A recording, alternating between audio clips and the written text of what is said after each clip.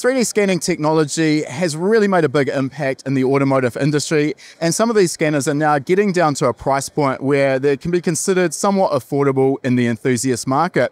But there is a lot to understand. And I'm here with Gabby from Peel 3D to find out a little bit more about the different options, what they mean, and how they can be used. So, Gabby, for a start, can you talk to us about the different technologies available when it comes to 3D scanning and maybe pros and cons of each? Sure, yeah. So uh, our specific scanner, the Peel 3, it has a infrared light. Um, and then there's other scanners out there. They might have blue light laser, uh, red light laser. Blue light laser is really useful for when you're scanning very, very shiny material. Um, so there are limitations with different things. So, yeah. Structured light is another option as well? Yes, structured light as well, yeah. Uh, you just mentioned that uh, the blue light laser is good with shiny uh, surfaces, which we're jumping a bit ahead here, but one of the problems with 3D scanning technology is that there are what I refer to as problematic surfaces, which are difficult for the scanner to see or understand. So shiny objects, obviously, you just mentioned that. That's one of them. What other sort of surfaces can be problematic to scan? Yeah, so if you have see through material, then this. Like glass or polycarbonate? Yeah, exactly. So something plastic, like see through or, or yes, or glass, um, it's going to have a hard time really under, like seeing where that surface is because what's happening with a scanner is the light being projected onto the part needs to bounce off of the part and back into the cameras. So it's if it's going through it, then that's not going to really work out. So we have different things that we can do to make the surface still show up. Okay, we'll talk about that in a second. Uh, on face value, I would have thought if the light is reflecting off the surface, uh, then a shiny surface might be beneficial, and it sounds like that's not the case. Right. So blue light does really, really well. So we uh, work, you know, Peel 3D is part of the Creaform family. We're the entry level brand. Um, so the Creaform scanners, uh, they have some blue light scanners that are really good for that. Exactly. I, I, think probably what we want to talk about here is all of these come at very different price points. So the blue, I'm, I'm assuming here that the blue light scanners are significantly more expensive. Right. Yes, they can be, and, and they start a little bit uh, not not too crazy high, but you know they can go up as depending on what you need, what you're looking for. So if you're looking for something with more accuracy or more resolution, then they can go up a little bit higher. Okay as metrics for scanners go, uh, the two that you just mentioned, accuracy and resolution, can you talk in a little bit more detail about what each of those metrics is and what we really need to understand about them when we're choosing a scanner? Sure, yeah. So let's say that you're scanning something and you're doing it because you need to do like quality control. You need to check to see if the part is within tolerance of what after you've manufactured it. So many people will take a scanner uh, of high accuracy, uh, and they need high accuracy because maybe their part has like tight tolerances.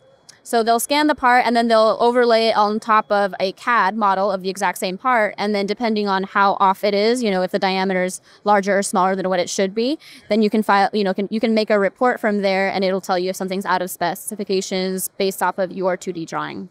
Okay, so this is more for a production quality assurance usage, so not really necessarily our automotive performance market. Right. Yeah, but it also depends. Like it, what you know, it all, everything kind of changes depending on how often you use it. So some scanners are pretty hard to use. You know, the really inexpensive scanners are really, really difficult to use. But we have the Peel 3, which is a really nice uh, professional professional grade scanner. Um, and that way, you know, when you pick it up, you start scanning, it's not going to mess up every single day. You're you're depending on it, and it's going to do a good job. Yeah. I can attest to that. We've got a Peel 3 at, at, back at home. We've used that for a lot of our scanning projects, and it just does what it says on the label, which is which is always uh, refreshing. Uh, uh, coming back to the uh, problematic surfaces now what options have we got to, to deal with those? You know, we always see these little uh, stick-on uh, stickers on cars that are being scanned. What, what do they do? What are they? And what other options are there? Yeah, actually, so those dots are the stickers that you might be putting on a part are really just for tracking. So if uh, a surface is kind of hard to, you know, maybe the, if the geometry is very repetitive, like the tire, for example, or if you just have a flat plane, then the scanner is going to have a really hard time understanding where the different geometries are. It needs to be able to see differences in a shape as opposed to one flat plane. Yeah, so if you put the stickers on, it'll be able to see, oh, okay, I've seen this little, you know, pattern of stickers before, so I know what I'm looking at now. And it doesn't matter if it's flat here and flat there, it's not going to get confused between the two flat surfaces. So, an example of that, maybe if we were scanning a, a, a car panel like a door, which is essentially flat, uh, the scanner can kind of get confused and lost if we're not using these positioning targets. Exactly. Yep.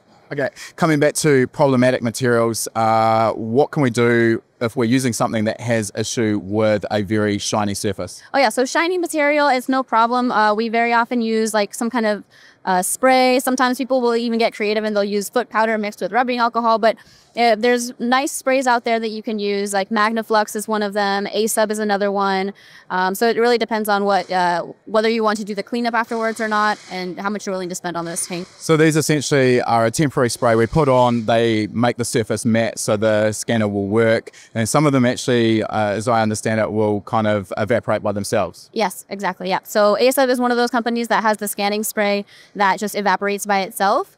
Um, it just it just sprays it on. It's like a, a white, very thin film, and that way you can still scan it, and it just shows up as white. Yeah. All right, so if we are looking at scanning to reverse engineer a component, now let's just say, for example, we're going to be scanning a, a, a hub for a vehicle, so an upright. Uh, I think most people on face value would assume that if we want to reproduce that part with high levels of accuracy, the accuracy of the scan would be absolutely super critical.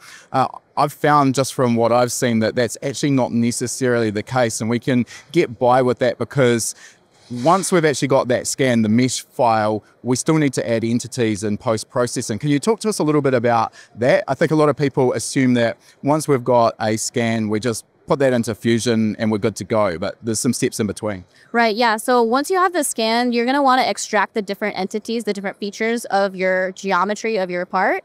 Um, so if you're scanning something that has uh, maybe a nice cross section that you would eventually want to extrude in Fusion 360, you can do that. If you have a cross section that you would want to um, maybe revolve in Fusion 360, you can also make a cross section of your part there in the peel.cad software. Uh, there's all kinds of features you can extract, surfaces if something's more organic shaped. Then that way, if you're building something that needs to have full contact with that surface, you can say, I want to build you know, you design your part first and then you go up to that surface. Um, and then uh, if you need to make something into a shell, you can also do that as well. Specifically for the example I just gave there, if we're dealing with a scanner that's not going to give us the ultimate accuracy down to, to microns though, once we've got that scan, for example, the stub axle where the wheel bearing would locate, the diameter of that on the hub on the upright is going to be very critical. But of course, we can then measure the physical item with a micrometer, get that, and then when we're extracting the entity in CAD, we can make sure that that is the exact diameter, basically getting around the accuracy deficiencies that the scan may have. Mm-hmm. Yeah, so the, the specific uh, accuracy for the Peel 3.CAD is going to be 0.1 millimeters. And then depending on if you're scanning a very large part, you know, with larger and larger parts, you're going to have a little bit more accuracy loss. So uh, for that, it would be the accuracy would be 0.25 millimeters per meter. So in other words, if you have a four meter long part, then that would be an accuracy loss of about one millimeter. But you know, you have everything in between, and it's just off by one millimeter. Okay. Uh, now you've talked a couple of times here about Peel CAD. So what is that and how does that get used with the scan and how does that differ from traditional CAD software Fusion 360 or SolidWorks as a couple of examples. Yeah, so Peel.CAD is the, the, the bridging software between your scanning and between your CAD development. So if you're going to be working with Fusion, let's say you have a scan already, sometimes what people used to do is they would take a scan and they would put it into Fusion and then try to build from there. They would try to make a cylinder, and make it look like it's close to the scan because you're really you're just looking at everything. There's no actual working with the mesh. It's all just visual. Uh, I think that's worth just pausing there, and I've, I've already touched on it, but yeah, again, that scan is really useless on its own. It's just a, a mesh file that we can't work with directly in CAD. It's a case of adding entities from that mesh file that we can then utilize and build our model in CAD from, correct? Right, exactly, yeah. So yeah, so you wouldn't really be able to build from there. So what our software does, that Peel.CAD software is you have that scan in front of you and then you see a surface and you can say, okay, this looks like a cone. I'm going to make a cone that fits perfectly where the scan is. Because when we're looking at our scan, we're really looking at all the different triangles. And they're a certain size. That's what the resolution is. And, you know, if you have a smaller size resolution, that you have a smaller size triangle, that means you actually have higher resolution. Uh, so that once you create a cone on a surface, for example, like maybe a gas cap entrance like this or something like that, then you'd be able to create a cone, you'd be able to create different planes, cross sections, and you're kind of just building all of the pieces that you're going to need in order to build a good CAD in Fusion. So I, I like to call it like the skeleton of your CAD. Uh, in terms of file size as well, as that resolution increases and the size of the triangles gets smaller, obviously we can get more detail, which I'm assuming here is going to be important for intricate uh, and small models or parts. Uh, but I'm guessing that also is going to have an impact on our file size that we're creating. Yes, exactly. So the smaller the triangles, the larger the file size. Exactly. And uh, some people do tend to get confused between accuracy and resolution, but they're not the same thing. Um, keep in mind, if you have like a very flat, large surface, you don't need to have your triangles super, super tiny to say, oh, I have the best scan possible. Because if it's pretty flat, you can get away with very large triangles. How's that resolution dealt with? Is this automatic or is this uh, user selected? So we'll have to have an understanding of, okay, it's a big flat panel. I don't need all of the resolution. Or as I mentioned before, small intricate part, I need high resolution. Yeah. So in our specific software, you don't need to have a full complete understanding of that because in the parameters, it'll ask you what size part are you doing? What are the details? What's the smallest detail that you have. And so it'll automatically select that for you. Once you get a little bit more advanced and you know a little bit what the resolution should be depending on your part, then you can go into the advanced settings and choose resolution as you wish. Yeah. So you can kind of grow with it. It's nice and easy to get started, but once you start growing your own skill set, you can tailor it to your requirements a little bit more specifically. Yes, exactly. And there's even another extra feature that I really like called Smart Resolution. And that allows you to scan at larger triangles and flatter areas. But then when there's supposed to be more details, it'll make those triangles much smaller. And it'll do that automatically wherever there's more detail. Okay, there's a really nice feature. I was actually going to ask about this because often we will have something that's large and flat, not needing resolution, made it up to something that maybe changes direction and has some intricate features which would need that resolution. In terms of the, the rest of the package, I mean, the scanner is only part of it. Obviously, we need a, a PC or computer uh, to actually run the software and collect all of the data. Uh, this is relatively uh, sort of heavy lifting work as well. What are the, the system requirements in order to get a good job? Yeah, so if you do need to do uh, t- to figure out what kind of laptop or what type of computer you're going to want, uh, if you go to our website, it's peel-3d.com, and you scroll all the way down, you'll see a little link that says minimum system requirements, and that will show you the minimum requirements, but also the recommended specifications. But of course, with even more powerful computer, you're going to have an even faster scan. Uh, but the recommended specifications are for the processor, it would be an Intel i7 with eight cores. It would be uh, 2.5 gigahertz or more. The operating system would be Windows 10 64 bit or Windows 11 64 bit. And then we have specific graphic cards, uh, NVIDIA RTX 3, uh, 3070 with a memory of 32 gigabytes. My personal computer has 64, so mine's a little bit faster. Uh, but you also have uh, the hard drive, uh, minimum of 512 gigabyte SSD, and then the display and the connecting uh, ports are on there as well. Uh, you should have uh, USB 3.0. So the higher your specifications are, essentially, the, the faster you're going to be able to process a scan. Yes. I, I'm guessing that's also still limited by the scanner itself as well. So our specific scanner has a measurement rate of 1.25 million measurements per second.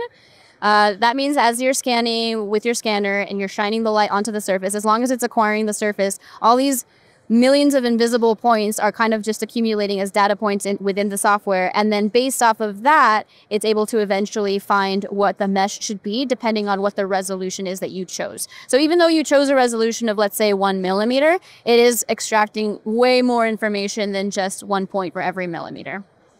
Yeah. All right. I guess we, we probably also need to talk about the elephant in the room, which is the, the price point. The the Peel 3 is the entry level product from Creaform and Peel. It's still relatively pricey, so it's not going to be for everyone, but can you talk to us about what it actually does cost? Yes. Uh, so with the, if you're looking at the Peel3.cad, which is the scanner and the Peel.cad software, it typically runs about 12,300, a little bit less than that. Um, but we are having a show special for SEMA as well. Um, but yes, it's typically about 12,300. So, yeah, as I've said, obviously not going to be for everyone. There's a range of scanners out there on the market at all sorts of different price points. Am I right in also assuming, though, that this technology is developing reasonably quickly, which is going to drive down the price over time? I mean, I would say so. So we did have um, the Peel 2 that was out. Maybe it came out maybe in 2017. And then we did have it on clearance for a little while, but they went really, really quickly. Um, so we don't have any more of those available, unfortunately, for you. Um, we are still selling the Peel 2-S, which is made for much, much smaller parts. So it has the high detail, but much, much smaller parts. And those are still available on our website. Um, but yeah, I guess for the Peel 2 to get to the eventually the Peel 3, it took about maybe uh, da, da, it took about five years. So, so we're not probably going to see another iteration next year, but right. in time. Yes, I, I, I don't know when it would be, but yes, R and D guys won't unfortunately tell me. So. All right, thanks uh, for your time there, Gabby. Great to get some more insight into the different options and how this technology works, and hopefully uh, our viewers get a little bit more understanding of it as well. So thanks again. All right, thank you so much for having us. If you like that video, make sure you give it a thumbs up. And if you're not already a subscriber, make sure you're subscribed. We release a new video every week. And if you like free stuff, we've got a great deal for you. Click the link in the description to claim your free spot to our next live lesson.